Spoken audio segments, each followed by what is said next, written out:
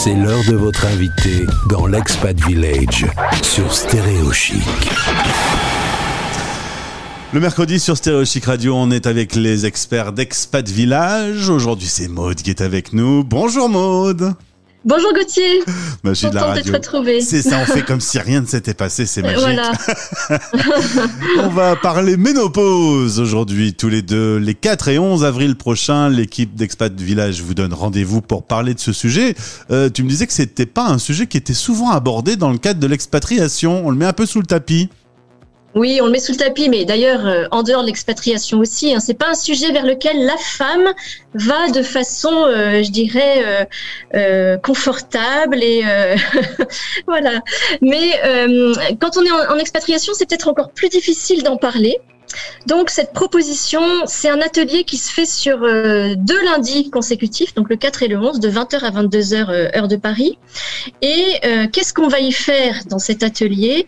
Eh bien, toute femme qui a plus de 40 ans, qui se pose des questions, ou alors qui est en pleine ménopause, ou alors pour laquelle c'est déjà passé mais qui aurait envie d'en parler, peut se retrouver.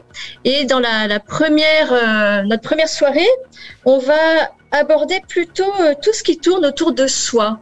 Euh, finalement, c'est euh, qui suis-je? Quelle est l'image que j'ai de cette période de vie de la femme?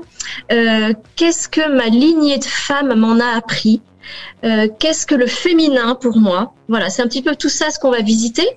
Et puis dans la deuxième soirée, on va plutôt aborder euh, du, de la physiologie. Euh, je vais m'appuyer sur les travaux d'une sage-femme euh, pour cela, parce que moi je suis conseillère conjugale, donc tout ce qui concerne la sexualité, la contraception, tout ça on, on pourra en parler. Et puis également les bonnes pratiques.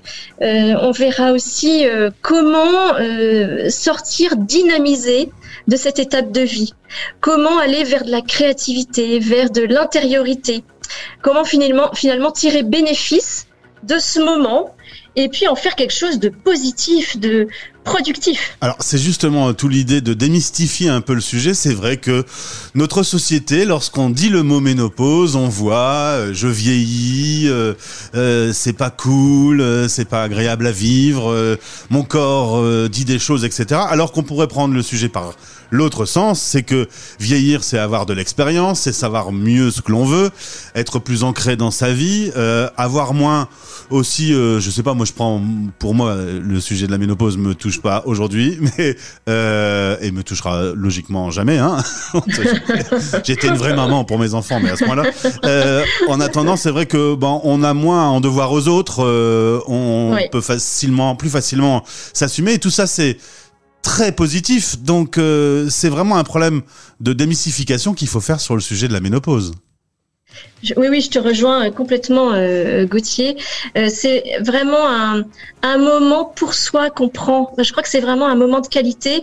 On le met en ligne, cet atelier, et je l'ai fait déjà en présentiel évidemment, parce que beaucoup de femmes me disent ouais, mais en présentiel c'est beaucoup mieux.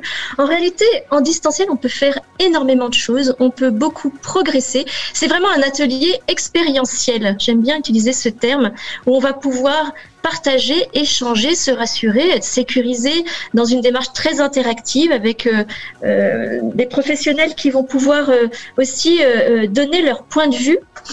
Et je crois que de participer à cet atelier, c'est une étape. C'est une étape vraiment bienfaisante et très enrichissante. Et si jamais on n'est pas concerné, je pense aux auditrices là ou aux auditeurs même, que ça ne concernerait pas directement, mais parlez-en autour de vous. Il y a encore quelques places. Donc l'atelier commence lundi prochain. C'est aussi la possibilité, enfin vous avez peut-être l'opportunité de sauver des femmes de votre entourage. Et je, ne mâche pas mes mots en disant ça.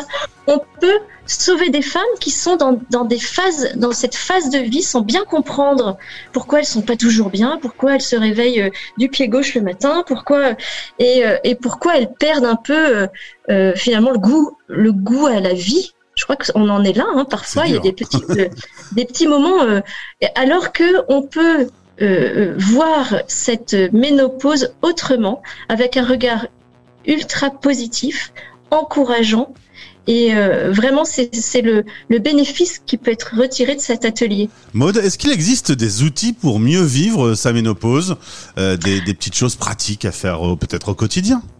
Ah oui, mais est-ce que tu crois vraiment qu'il faut que je les dise à l'antenne bah, Non, je ne vais pas tout dire. Bah, Évidemment qu'on va en donner. Un petit outil, un petit outil, un petit truc vraiment qui, qui peut être très utile on, va, on, en donnera des, outils pendant euh, cet atelier. Euh, moi déjà, j'ai envie de dire, mais regardons euh, la vie avec des yeux positifs. Comme outil, j'ai pas très envie de répondre à ta question, Gauthier. Je suis vraiment désolée parce que comme l'atelier est très progressif, que on a quand même quatre heures ensemble, partagées en deux, on va progressivement construire sa boîte à outils. On va pouvoir confronter à ce que les autres peuvent penser, peuvent avoir vécu de leur côté. Et puis, on va se faire sa propre idée. Euh, je crois déjà, c'est devenir ce qu'on est.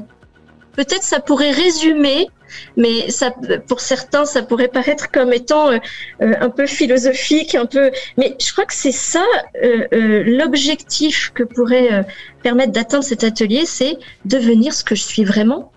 Alors, j'ai une euh, question euh, un peu curieuse comme ça. La sexualité pendant la ménopause, comment ça se passe? Dans le couple, alors c'est c'est vraiment un sujet compliqué parce que la la bah, la femme a son corps qui évolue hein, et euh, là aussi ça demande beaucoup de dialogue, beaucoup de communication dans le couple, beaucoup de patience, beaucoup de euh, j'ai envie de dire de, de prudence aussi hein, par rapport à la contraception, mais ça on posera des mots pendant l'atelier. Donc c'est euh, une, euh, une période où tout semble, où le cycle semble complètement modifié. Et, et, donc ça demande une peut-être une plus grande vigilance, une écoute particulière de son corps, voilà, il y a des tas d'hormones qui euh, évoluent, pour certaines qui disparaissent, mais il y en a qui restent, et c'est sur celles-là qu'on va pouvoir s'appuyer pour rester positif et, euh, et très euh, ouvert sur le sur cet avenir voilà, qui s'ouvre. Je reconnais bien là ton côté positif sur les choses. Parlons ménopause, les 4 et 11 avril dans l'expat village un village d'experts pour vous accompagner dans votre expatriation. Merci Maud d'avoir été avec nous aujourd'hui. On a eu un petit incident technique, mais finalement on s'en est pas trop mal sorti, non? On s'en est pas trop mal sorti. Et surtout, bienvenue à l'atelier, il reste encore 4 places. C'est noté. Merci, salut. À bientôt. Les Français parlent français. Gauthier sur Stéréo Chic Radio.